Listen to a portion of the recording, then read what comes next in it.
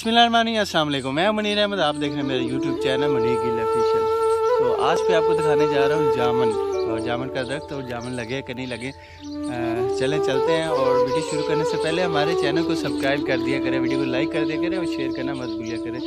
क्योंकि एक दिन हमने भी वायरल हो ही जाना, और काफ़ी ज़्यादा हमारी वीडियो मतलब व्यूज़ आ रहे अब आ रहे अब चलें। अब तो हम वीडियो बनाते ही रहेंगे, आपको दिखाते ही रहेंगे हर चीज़। जो जो गाँव के अंदर मशहूर है और जहाँ से हम गुजरते हैं। बाकी ये है कि आपका भी अब रोल है कि सब्सक्राइब बटन पे क्लिक कर दिया करें और शेयर कर दिया करें। और ये जी हमारा जामुन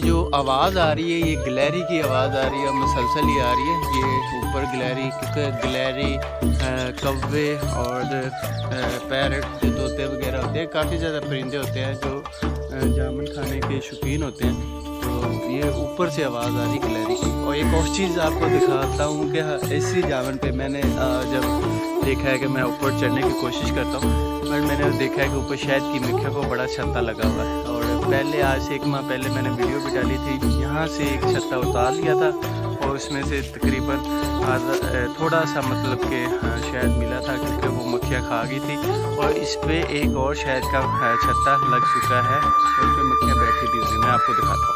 और अचानक मेरी नज़र पड़ी, वो देखें और काफ़ी ज़्यादा जितना मैं जूम कर सकता हूँ, जूम किया वो देखें। काफ़ी मतलब इतना बड़ा नहीं है बट बड़ा है। वैसे तो एक मक्खी भी डंग लगा देना तो इंसान को इंसान के चौदह तबक रोशन हो जाते हैं। एक चीज़ और देखते हैं कि बहुत सारे लोग कहते हैं कि उंगली निकालनी निकल के चेक करते हैं क्या करती है। हाँ उसको नज़र भी नहीं आ रही होगी। कहते हैं उंगली करने से वो अपनी अपनी जगह से हरकत में आ जाती होती है और इंसान की तरफ़ लिपट पड़ती, लपक पड़ती होती है। तो बड़ी यहाँ से तो मैंने इतनी दफ़ा कर चुका हूँ। पहले बुशाई की तो ये वाली कहावत गलत साबित हुई। मतलब इनको छेड़ने से ही कुछ छेड़ने से कुछ कहेंगे, बाकी उंगली शुंगली आवाज़ देने से ही कुछ नहीं कहेंगे। जब ये जामुन ख़त्म होते हैं तो ये वाला जो खाला है ना, ये ये सारा का सारा भरा होता है। जामुन की गिटकों से जामुन के जो गंदे हो जाते हैं। और इस साइड पे जामुन के पौधे हल्के जहाँ पे गिटके गिर रही होती हैं तो ये सारा एरिया यहाँ पे जामुन के छोटे छोटे पौधे उग जाते हैं। तो फिर इतना टाइम नहीं होता कि हम उनको निकाल के कहीं पे लगा दें। वैसे जितने ज़्यादा इधर बीज होता है, उनको कहीं पे शिफ्ट कर दें तो जामुन के जामुन इधर जो हमारी ज़मीनें हैं वहाँ पे दो तीन फलदार दरख्त हैं। एक जामुन का है शतूत के हो गए और एक बेरी के दरख्त हैं। ये जो हमारी ज़मीन के अंदर है। बाकी ज़्यादातर कॉमन जो जामुन के दरख्त लोगों की ज़मीन में होते हैं और, या बेरी होती है और शतूत होते हैं। बाकी यहाँ पे जो सेपरेट है लोगों ने, अमरूद भी काश किए हुए हैं, लीची भी है नींबू भी है, वो मुख्तलि वो स्पेशल कास्ट के होते हैं। बाकी ये है कि अल्लाह ताला की तरफ़ से कि गिट मतलब कि परवरिश हो जाती है। कुछ लोग लगा लेते हैं तो ठीक नहीं तो वैसे ये हमें तो हमने लगाया नहीं था, बस हो गया और हमने यहाँ से खाने शुरू कर दिए। और यहाँ, गाँव वालों को एक मौज है कि खाते भी हैं, खिलाते भी हैं। मतलब कि बच्चों ने यहाँ से आके इतने ज़्यादा जामुन खाने हैं, क्योंकि गाँव वाले सेल नहीं करते। ना हमने आज तक नहीं सेल किया। और ना ही मैंने देखा कि गाँव में कोई लोग जामुन सेल कर दे के ले जाए, वो उतार के जो मंडियों में सेल करते हैं। तो यहाँ पे ये है कि आप खुद खाते हैं और गाँव के जो बच्चे खाते हैं, उसके अलावा अपने रिश्तेदारों को या दोस्तों को आपने उतार के भेजनी हो तो वो भेज सकते हैं। तो बाकी ये है कि इसके बारे में जो मशहूर है कि जो इसकी टहनियाँ होती हैं मैं आपको टहनियाँ दिखा दूँ। ये वाली टहनी जो ये कहते हैं कि ये नाजुक होती है। एक शपेदा जो सफ़ेदा कहते हैं जिससे आपकी क्रिकेट का सामान भी बनता होता है और पॉपुलर है और एक ये।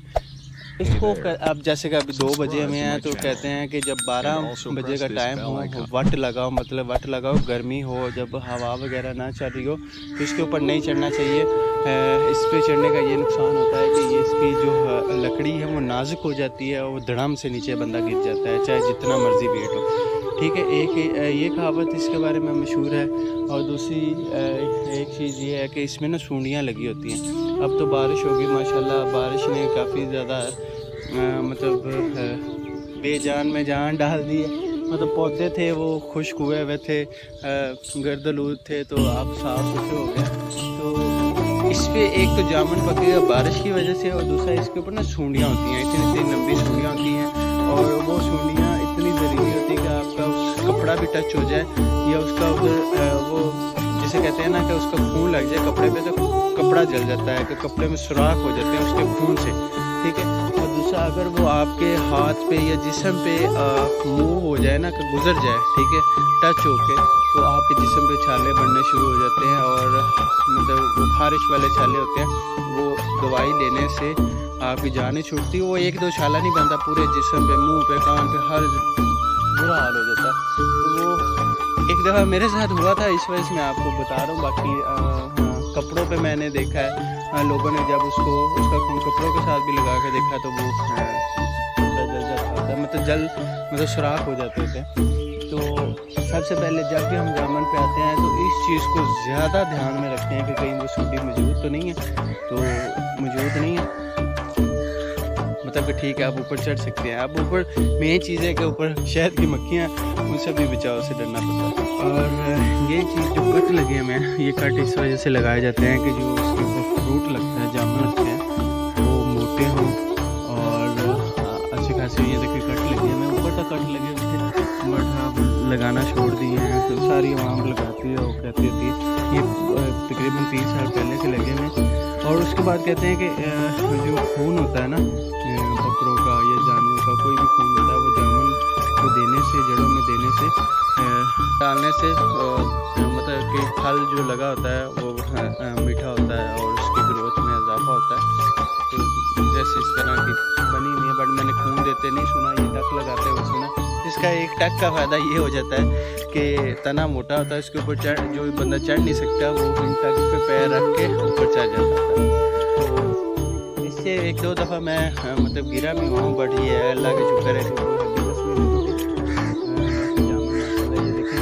तीन लगे मैं इनको उतारने की कोशिश करते बट उसको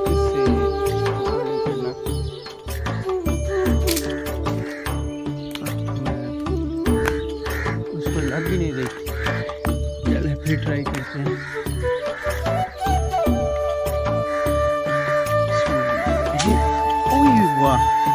चेक करें। एक वो गिरा है, एक वो गिरा है। वो तो गंदे हो गए।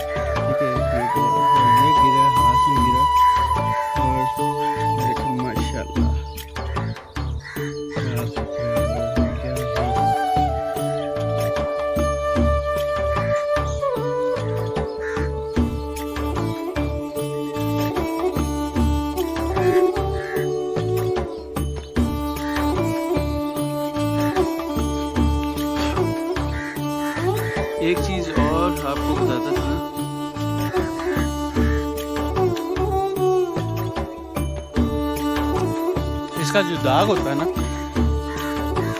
जामन जो पका हुआ है, उसका जो दाग कपड़ों पे लग जाए तो वो उतरता नहीं। तो एहतियात करें, जब गाँव के अंदर आए तो कपड़े ऐसे पहन के जामन के ऊपर चढ़े, कि जो दाग लग जाए, कुछ ना हो। तो ये दाग नहीं उतरता होता हाइट चेक करें। हाइट भी इसकी, माशाल्लाह फुल हाइट पे जाके इंशाल्लाह अभी, जब जामन फुल रेडी हो जाएँगे आपको वहाँ पे जाके जामुन दिखाएँगे। ऊपर हम ब्लॉग भी बनाएँगे जामुन के ऊपर। और इसको कैसे तारा जाता है, सारा आपको दिखाएँगे।